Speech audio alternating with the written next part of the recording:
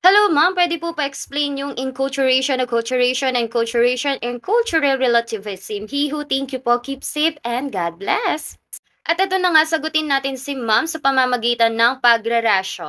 Let's read the question. Vincent learns how to open a coconut and other common chores in a coconut farm in the situation culture is transmitted by A. Enculturation, B. Acculturation, C. Assimilation, D. Immersion. Ano ang sabi ko sa inyo, teachers? Kailangan marunong kayong tumingin ng keywords sa question pa lang. Pagdating sa choices, dapat alam nyo kung anong klaseng topic na to. May idea na kayo agad pagdating sa mga choices.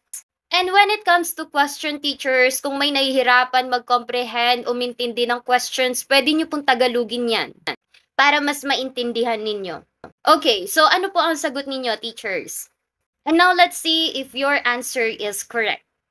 Let's review the ways to transfer culture. Ito daw yung mga pamamaraan, paraan na paano na ta-transfer ang culture, yung inuugali, kinikilos natin.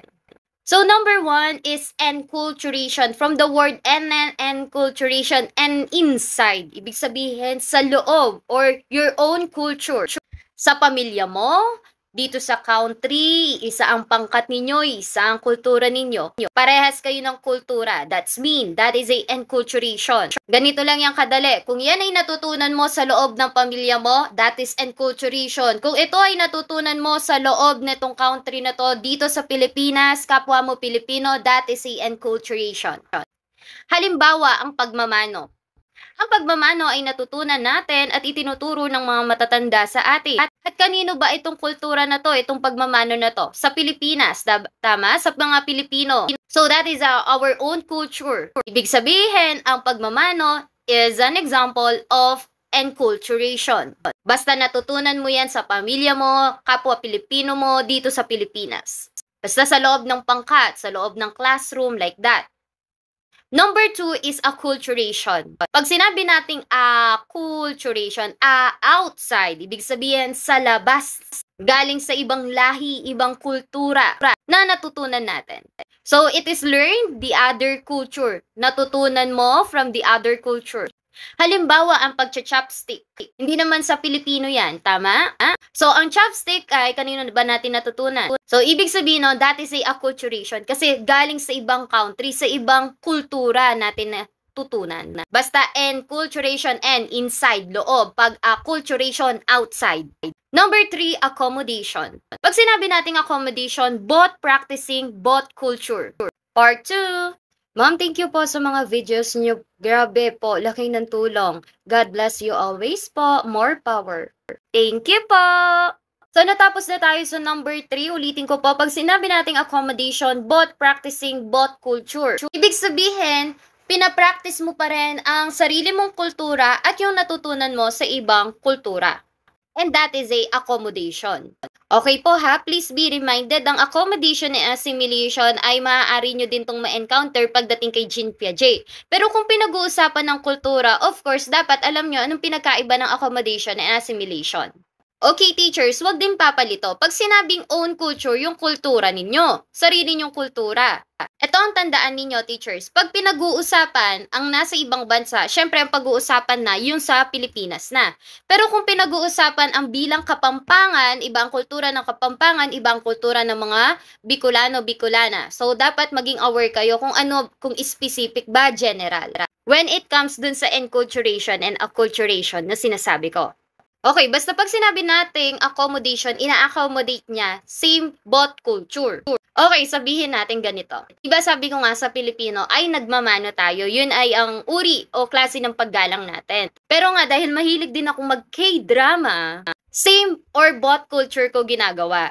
Sa iba, nagmamano ako, pero pag hindi ko gano'ng kilala, minsan, bilang paggalam ko, nagbabaw ako sa kanila. Ibig sabihin, both na sa culture, yung kultura ng K-drama, uh, sa Korean, sorry, Korean, inaano ko yung pagbow nila, which is paggalang din, at sa atin ng mga Pilipino, yung pagmamano. So, parehas na kultura ay pinapractice ko or ginagawa ko, and that is a accommodation.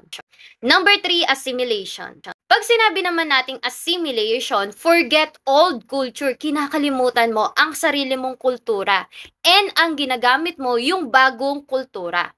Halimbawa nito, ikaw ay isang Filipina, dalagang Filipina, yeah. At tapos, nag-asawa ka ng taga-ibang bansa. Sabihin nating AFAM. And then, nag-migrate ka sa ibang bansa. For more than decades, ibig sabihin, ilang years na. At dahil sa tagal mo na doon sa ibang bansa, ay nakalimutan mo na yung sarili mong culture. At kung ano yung kultura o mga ginagawa nila doon, yun na yung ginagawa mo. Yun na yung mga ginagamit mo. And that is a assimilation. Kinalimutan mo na, nakalimutan mo na yung sarili mong culture which ang ginagamit mo yung new culture or yung culture ng nasa ibang bansa. And that is a assimilation. In, ulitin ko po ha, hindi ko sinasabi na lagi na lang sa ibang bansa. Pwede din kasing dito sa taga Pampanga, pumunta sa, tag, sa Bicol, o nakalimutan niya yung mga culture niya sa Pampanga. May ganun din kasing instance or situation. Part 3! Isa ka po sa pasasalamatan ko, ma'am, kapag nakapasa na ako. Thank you so much po for sharing everything. March, let take her here.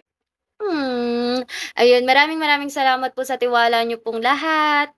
And now, mag-review na tayo. Let's have part 3! So, nasabi ko na nga pong assimilation, ibig sabihin, nakalimutan mo or kinalimutan mo ang old culture mo, yung mga nakasanayan mo, at ang ginagamit or ginagawa mo na ngayon ay ang new culture. Number 5 is immersion. Ibig sabihin, contextual. Go to the place, situation to learn. Ibig sabihin nito, para matutunan mo ang isang bagay, kailangan pumunta ka sa isang lugar na yon or kailangan magkaroon ng simulation. No? So, pupunta ka dun sa sitwasyon na yon para matutunan mo. Pupunta ka sa isang lugar na yon para matutunan mo ang isang bagay.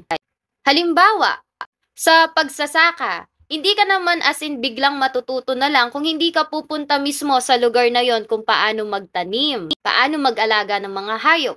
And that is a an immersion. Next, punta tayo dito sa culture shock. Pag sinabi nating culture shock, sense of confusion. Ibig sabihin, parang nagiging confused ka sa mga bagay-bagay sa sarili mo. And uncertainly, or nagkakaroon ka ng anxiety. Halimbawa, yung mga taga-ibang bansa dito nagtataka sa atin na kumakain tayo ng balot. Pero sila hindi. At dahil doon, naku-culture shock sila. O, tapos halimbawa pa, pupunta ka sa ibang lugar. Tapos nakikita mo, as in, sa harap-harapan mo, naghahalikan na sila, may ginagawa na sila. Eh, taga-probinsya ka. O, eh, di na culture shock ka doon. Yun ang ibig sabihin ng culture shock. Next is culture lag. Pag sinabi naman natin culture lag, takes time to catch up. Like for example, technology. O, yung medyo may mga edad-edad na, di ba? Ibig sabihin, they need time para makasabay sa trend. That is a culture lag. So, naintindihan po ba, teachers, ang ways to transfer culture pag sinabi nating enculturation and an inside? Pag sinabi nating acculturation, a, a, ako, a, outside. Accommodation, ina-accommodate mo, bot. Pinapractice mo bot culture. Your culture and the other culture. Pag sinabi nating assimilation, kinalimutan mo, nakalimutan mo ang sarili mong kultura at ginagamit mo na ngayon ang iyong kultura. Immersion, go to the place para mas malaman mo, matutunan mo. Situation to learn. And now, sagutin na natin. Si Vincent daw ay natuto magbukas ng coconut. At iba pang ginagawa sa coconut farm. Enculturation ba to? Acculturation ba to? Assimilation, immersion. What is your answer? Okay, kung titignan natin, wala namang culture na sinasabi dito. Culture on your own, from the other. But there's a place. It is situation to learn. Letter D.